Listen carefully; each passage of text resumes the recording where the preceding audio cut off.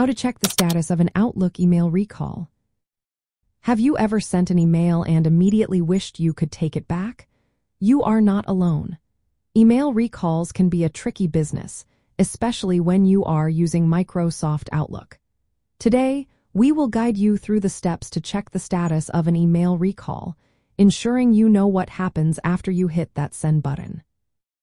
First, it is important to understand that the success of an email recall depends on several factors, including the recipient's email settings and whether they have already read the message. To check the status of your recall, you will need to follow a few straightforward steps. Begin by opening Microsoft Outlook and navigating to the Sent Items folder. Here, you will find all the emails you have sent, including the one you attempted to recall. Locate the original email that you wanted to recall. Once you have found it, open the email. If you initiated a recall, you should see a message indicating the status of that recall.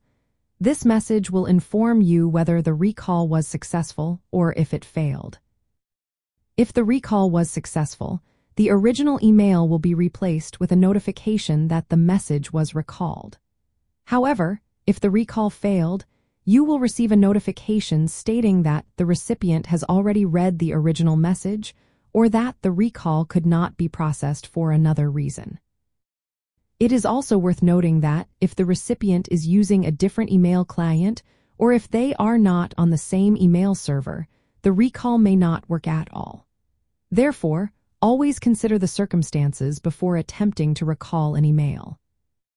In conclusion, Checking the status of an email recall in Microsoft Outlook is a simple process that involves reviewing the original sent email in your Sent Items folder. By following these steps, you can stay informed about the fate of your email and take appropriate actions if necessary.